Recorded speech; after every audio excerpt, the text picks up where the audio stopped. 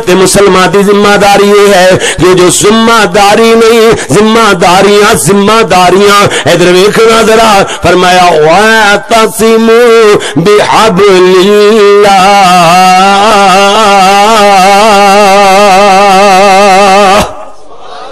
پھر ایک بار کہہ دو، سبحان اللہ۔ تاکہ میرا بھی او کھلے، اللہ اکبر، قرآن پڑھنے دا سن دا لطف آ جائے۔ اللہ اکبر، اللہ کریم نے فرمایا وَعَتَسِمُوا بِحَبْلِ اللَّهِ۔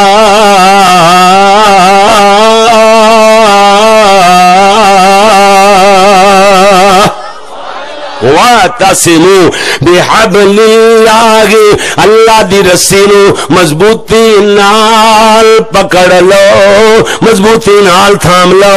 ایک دو بندیاں دا کام نہیں ہے۔ فرمایا، پوری امت مسلمان حکم ہو رہا ہے کہ جمیعا سارے دے سارے جمیا جمع تو جمیا فرمایا جمیا نے اصل دے اتنے رکنا ہوئے تے جمیا فرمایا سارے دے سارے، اللہ دی رسی نو مضبوطی نال پکڑ لو۔ ولا تفرقوا۔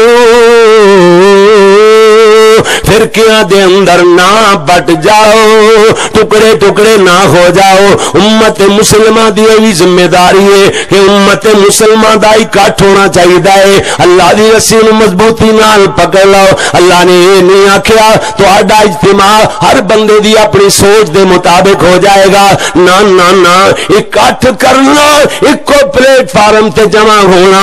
امت مسلمہ دی ذمہ داری ہے یعنی ایمان لے آنے تو بعد تقوی اختیار کر لینے تو بعد، اپنے آپ مسلمان بنا لینے تو بعد، سب تو بہترین۔ یہ جناب چوتھے درجے دی ذمہ داری اگلی یہ آندی ہے کہ اللہ فرما دے اللہ دی رسی نے مضبوطی نال پکڑ لو۔ اللہ دی رسی کی رب دا قرآن محمد دا فرمان ہے۔ اے اللہ دی رسی ہے، قرآن و حدیث ہے، دین ہے، جڑا دین اسلام دین اسلام اللہ دی رسی ہے۔ ہاں ہاں انہوں مضبوطی نال پکڑ لو۔ فرمایا جمیا سارے دے سارے، ولا تفرقوا۔ فرقیاں دے اندر نہ بٹ جاؤ۔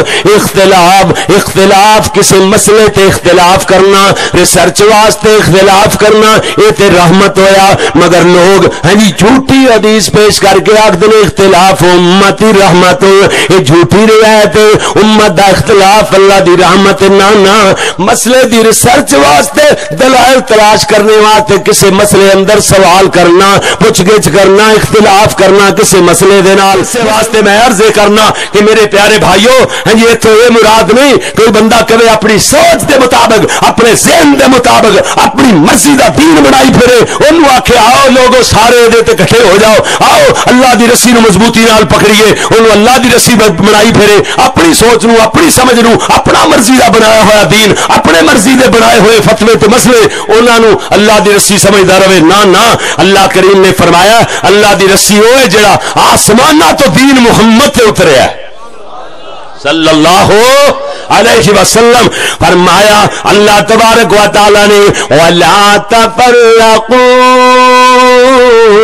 فرقیاں دے اندر نہ بٹ جاؤ؟ قرآن کہے ہاں جی واعتصموا بحبل اللہ جميعا ولا تفرقوا۔ یا کہ امت دے فرقے، اللہ دی رحمت نے۔ اللہ معاف فرمائے، اللہ معاف۔ نہ میرے ویر، غلطی لگی ہے، حدیث صحیح نہیں ہے۔ جس حدیث نو حدیث بنایا جاندا ہے یہ نبی تک دی سند نہیں پہنچدی پیارے نبی دا فرمان نہیں ہے۔ اس واسطے تے میں عرض کر رہا میرے پیارے بھائی، توجہ فرمانا، اللہ تبارک و تعالی نے فرمایا ہے، اے جے اللہ دی رسی، فرقیاں دے اندر نہ بڑھ جاؤ۔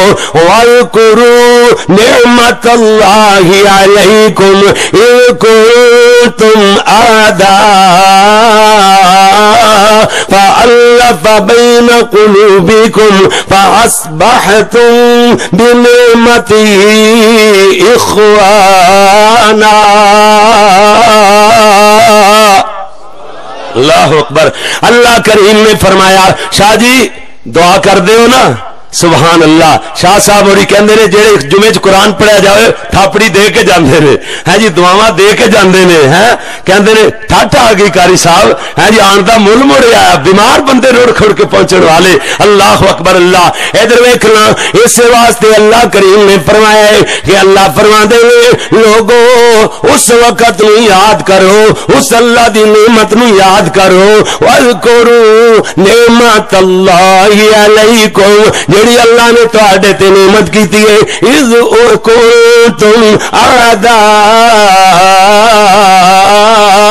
جدو تسی آپس اندر ایک دوسرے دے دشمن سو، جان دے ویری سو فالف بین قلوبکم اللہ نے تواڈے دلاں چ محبت پیدا فرما دیتی۔ اللہ اکبر، اللہ اللہ اللہ۔